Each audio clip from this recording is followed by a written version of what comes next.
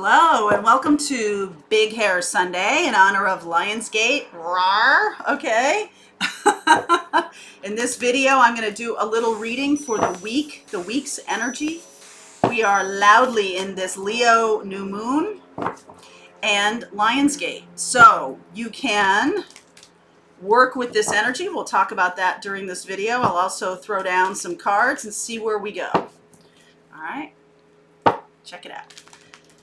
Let's see what's going on. This week I will be putting up the um, the Working with Your Chiron class and Working with Your North Node class. Both of those classes are going to happen later in the month. Uh, it's good to know what your Chiron is and your North Node, but let's talk about working with that energy. Okay, so those classes will both be posted this week. They're going to be held later this month live. All right, let's see where we go. I think Chiron might already be up, but I'm not sure. So I'll say Monday. All right. What's going on here? Uh-huh. Choosing your path. Wandering path. I'm sensing a theme. Desert passage. Trust that there is a divine plan. So um, some of you in this energy are doing an active thing, right? Leo, fire. Some of you are doing an active thing. Some of you are doing a more internal journey. Uh, both of those are valid. What do we mean when we say alignment? You're in alignment. What do we mean by that? Um, your soul has a path. You have made some contracts before coming into this life. And so you can choose how to work with that energy. You can choose to resist it, in which case you get a tower moment, or you can choose to embrace it. Like, for example, you know, I'm mostly fire and air in my astrology chart. So going with the flow feels weird to me. It feels like not my energy, but it is balance. And so that's something that I am learning to work with in um, in my lifetime and it's something that has always been an interesting lesson for me, as is the lesson of perspective. How you look at things is almost the only thing that matters. If you look at thing as a negative, then it's a negative. If you look at a thing as positive, then it's a positive. Perspective. If you can get that right, boy, you can fix a lot of stuff in your life. You really can. Okay, let's see where we go here. It's all about perspective. Uh-huh. Hermit. Sorry about my nails today. I'm going to get that done. Lovers. Eight of Swords. Talk about perspective here, right? Eight of Swords. Magician. Hanged Man. This is called the Hanged One in this deck. This is the Ember and Aura deck, in case you're wondering. All the decks I use are listed on the website. So if you want to know the decks I use, please go there. Four of Swords, smack dab in the middle. Two of Swords. King of Wands. Ten of Pentacles. Wow. Judgment. Okay. So right away, what's underneath, the card that's underneath, is about listening to your wisdom, listening to your guidance. Some of you may need to be seeking a teacher some of you may be becoming a teacher. How do you how does one become a teacher? You move through the lessons of your life, you share how you navigated those lessons. Voila. Teacher. Okay? Especially spiritual teaching is an experiential kind of path. And that's what Chiron is all about, too. Chiron is about healing the wound inside you, the deepest wound inside you that's hard to do, like it's hard to see at first, that it's hard to access.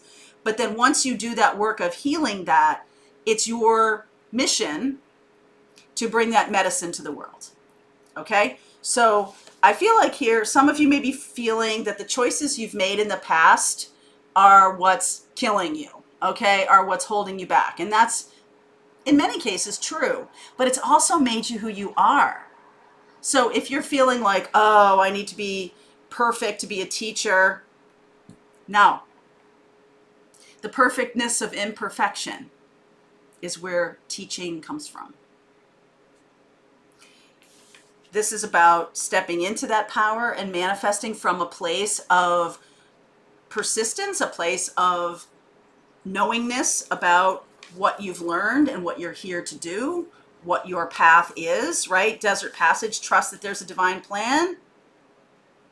This happened to me this morning when I was, um, a friend of mine is doing a live meditation um, for Lionsgate, you know, for this group.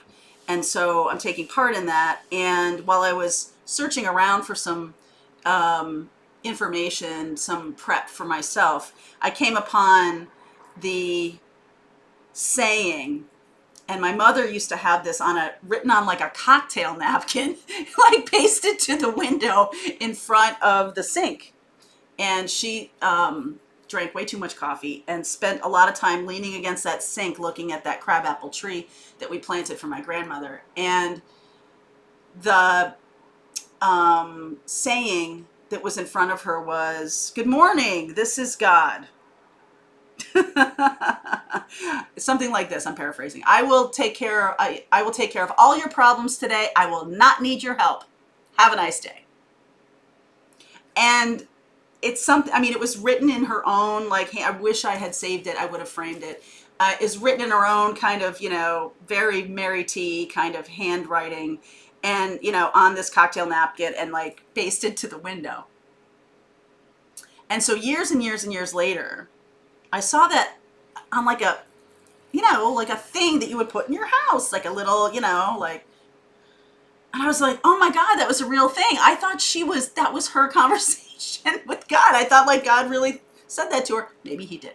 Maybe she did. So I feel like right now the the lesson of surrendering instead of pounding your head against a wall is something that some of you need to hear. What is the lesson of right now? okay, as you're sitting in Lionsgate energy, what is the lesson of right now? Am I pushing, am I pushing the river? Am I trying to make some things happen? And if I'm choosing my path, am I allowing it to be my path and allowing myself to flow with that path? And being on the spiritual path is a lot like finding breadcrumbs. And wherever you find them, that's what it is.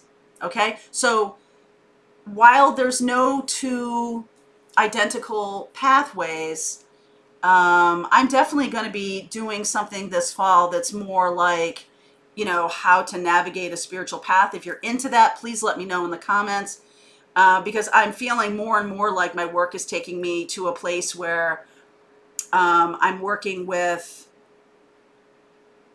not empowerment, but showing you your power because I feel like a lot of you don't know how powerful you are. A lot of you don't know your teachers, healers, guides. The folks who come to my channel are healers, teachers, guides, mystics, shamans. Okay? And I feel like some of you are likely resisting that out of a fear that it's ego, out of a fear that it's like, oh, what could I possibly have to say? And I feel like right now the answer is self love. The answer is sitting in meditation. The answer is doing, starting a practice if you don't have one. Because I feel like with the, um, some of you choose the path of love and relationship because you feel like it fills a hole for you. Okay. It, feel, it feels like it fills a hole.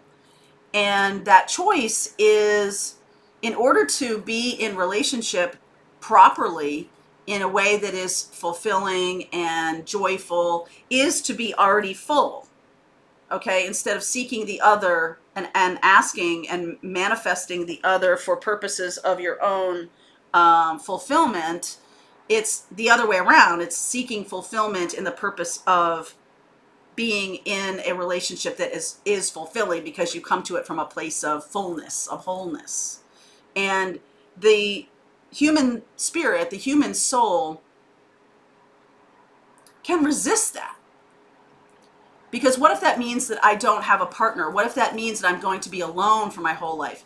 I'm going to seek love in an external way because that's the path to wholeness instead of the path to wholeness is fulfillment and then that by extension manifests in the partner. Okay, I see lots of Gemini here. I see Gemini, um, I see Aries, Leo, Sag. Okay, because the Aries can be in that magician too with Mars. And then I see Virgo here. So, what ironically enough, the treasure is already existing. It's really just a, a, a matter of you noticing. That's all. You don't have to do anything. The treasure already exists inside you. King of Wands, Ten of Pentacles. Already exists inside you. So the action is an internal one. The action is about a seeking of internal um, awareness around the wholeness that you already are. And that brings you to a different kind of choice.